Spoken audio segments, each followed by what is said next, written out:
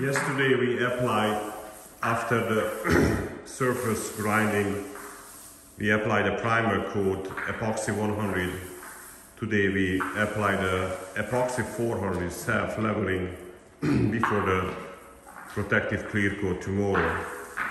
This type of epoxy is filling up all the cracks, all the damaged area and make look like a, a brand new floor with amazing result. This is one slab, other one is done. This is halfway down, and uh, we have like four more left.